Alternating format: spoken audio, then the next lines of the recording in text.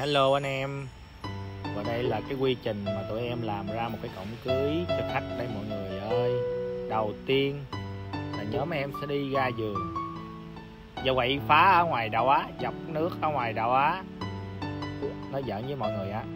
Mọi người ở miền Tây chắc anh em biết cái này. Biết cái cây này đúng không?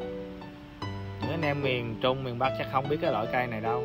Trong cây này trong mình gọi là cây dừa nước đó mọi người cây dừa nước này, cái trái ăn rất là ngon nha mọi người, có rất là nhiều công dụng nha. Lá thì cứ dùng để lợp nhà nha mọi người. Nhưng bây giờ thì người ta không có lợp nhà bằng lá nữa. Bây giờ người ta lợp ton không à. Nên mình sử dụng cái lá này để trang trí cổng cưới cho khách nha mọi người. Nhóm em đầu tiên sẽ đi ra giường, đốn lá. Đây là hai thành viên của nhóm em. Em đang đứng nói chuyện bô lô la đó mọi người. Hai thành viên nhóm em đang lội bùn lội sông để đốn. Mọi người đừng tưởng em ngồi không nha. Không phải đâu nha. Em cũng phụ giác cây đó mọi người. Nói chung là trong nhóm em thì mỗi người một khâu mọi người ạ. Ai có việc nấy. Như vậy mình làm nó mới nhanh được anh em ạ.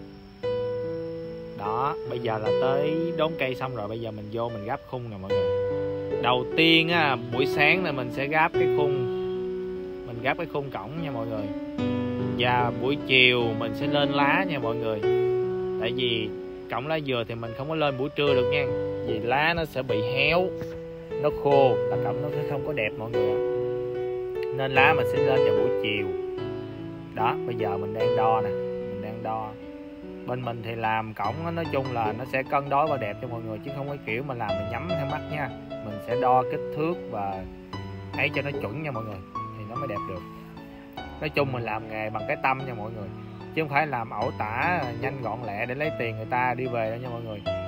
Làm là phải đẹp nha. Mọi người thắc mắc á, thì buổi sáng gấp gấp khung á, buổi chiều á, thì lên lá và buổi trưa mình làm cái gì á mọi người? Buổi trưa mới là tới nhiệm vụ của em nè mọi người ạ. Đó bây giờ cái khung này mình gáp cũng gần xong rồi mọi người. Đó. Mình lên được cái hình là mọi người thể tưởng tượng được cái cái cổng mình như thế nào rồi ha đây là nhiệm vụ buổi trưa của em nè mọi người. Buổi trưa thì em lại làm rèm, làm màn.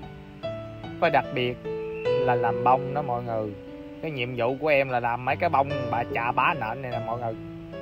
Mọi người tính là đơn giản lắm đúng không? Một cái bông em phải mất gần một tiếng đồng hồ đó mọi người. Từ khâu mà tuyển lá, chọn lá, rồi bắn vào, ráp vào cho mọi người.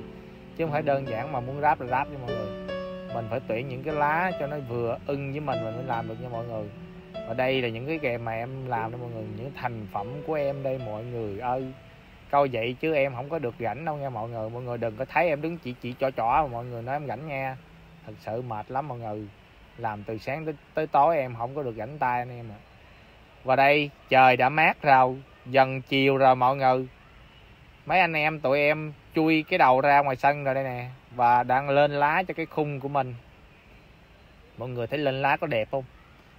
Đây là mới lên lá xanh thôi nha mọi người. Đó, mọi người thấy lá đẹp không? Hai em đang ngồi livestream mà nhỏ nhân viên nó gọi, nó quay em mọi người. Đây, đã hoàn thành rồi mọi người. Mọi người thấy sao? Đẹp không? Đây là thành phẩm của tụi em. Sau một ngày làm việc vất vả từ sáng tới 10 giờ đêm thì cuối cùng đã hoàn thành được một cái cổng cứ cho khách hàng. Chúc hai bạn trăm năm hạnh phúc nha. Ai có nhu cầu làm cổng cưới thì cứ ib trực tiếp cho mình nha.